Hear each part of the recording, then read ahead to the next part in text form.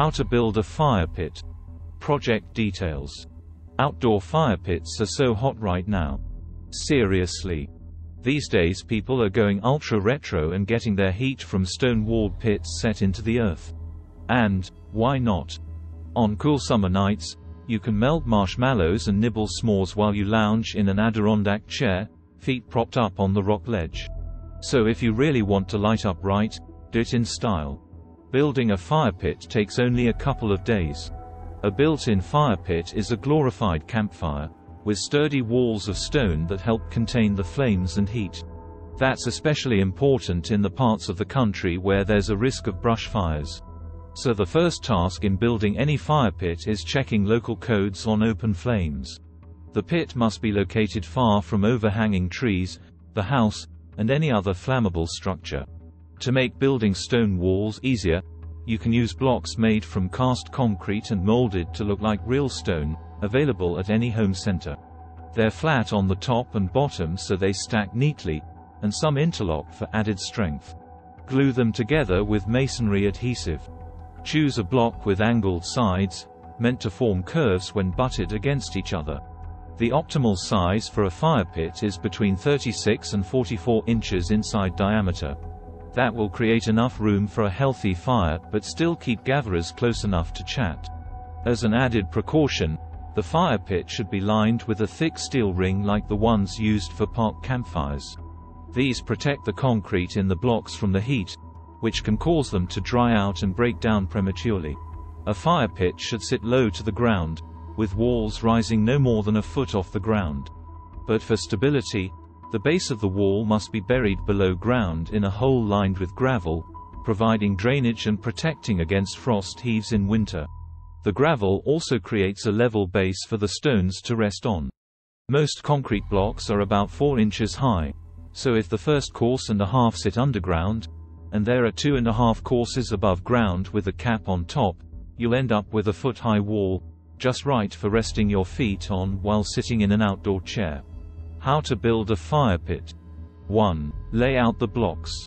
Dry lay a ring of blocks on the fire pit site, placing them end to end until you have a perfect circle positioned where you want the finished pit to be.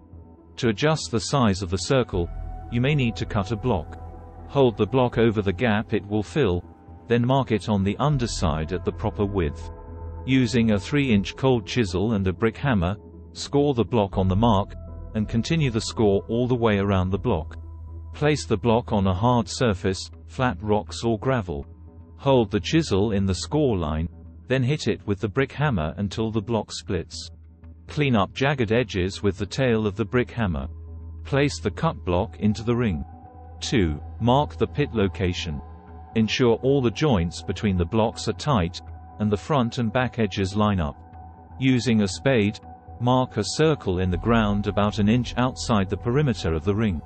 Take note of how many stones make up the ring, then remove them and set them aside.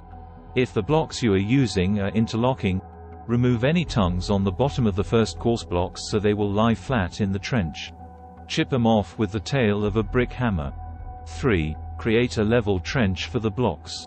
Using a spade, dig a straight-sided trench, 12 inches deep and as wide as one block, within the circle marked out on the ground. Then dig down 6 inches in the area encircled by the trench. Lay the ring of blocks in the trench to see if all the pieces fit in a circle. If not, dig more to widen the trench. Remove blocks. 4. Fill the trench. Fill the trench with 6 inches of 3 quarters inch drainage gravel. Using a hand tamper, compact the gravel. If necessary, add more gravel to keep the trench level and even. Always make sure the blocks line up perfectly in the front and back when you lay them out, a difference of 1 inch in the circle's diameter could create a 3-inch gap between blocks. 5. Lay and level the first course. Place the first block in the ring. Using a 2-foot level, check that it sits level both side to side and front to back. Where the block is too high, tap it down with a rubber mallet. Where it's too low, shim it slightly with a handful of patio base. Make sure this first block is perfectly level and positioned correctly in the trench before moving on. Lay another block next to the first one. Butt the sides together tightly and line up the front and back edges. Using the first block as a reference, level the second block side to side and front to back. Lay the rest of the blocks in the trench in this manner until the ring is complete and all the blocks you counted earlier are used. Make sure each block is perfectly leveled and lined up tight with its neighbor before moving on to the next one. You may have to coax the last block into place with a mallet. Using a 4-foot level, occasionally check the level across the ring. A small hit with a mallet can make a big adjustment. Work slowly and carefully, block by block. 6. Assemble the walls.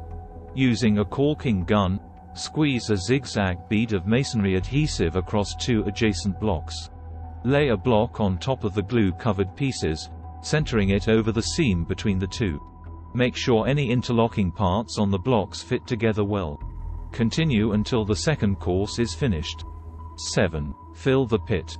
Fill the pit with 6 inches of gravel, which will help support the first two courses as they set up glue and lay the third and fourth courses, continuing to stagger the joints.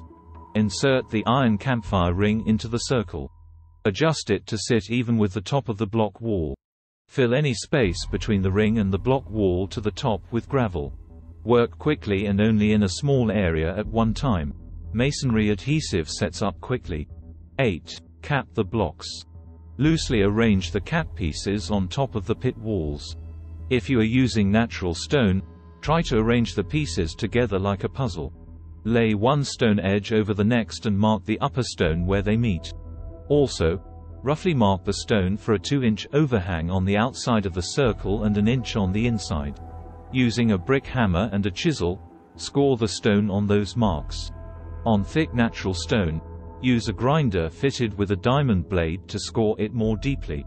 Lay the stone on a hard surface.